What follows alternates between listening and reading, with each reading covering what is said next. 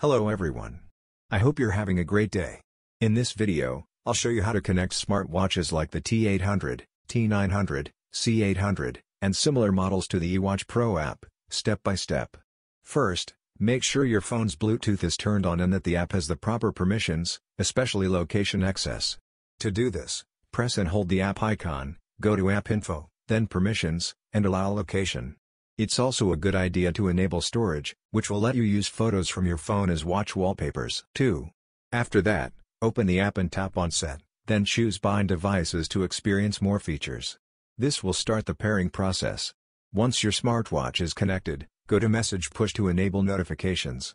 A pop-up might appear asking for access, look for Hiwatch Pro in the list and allow it.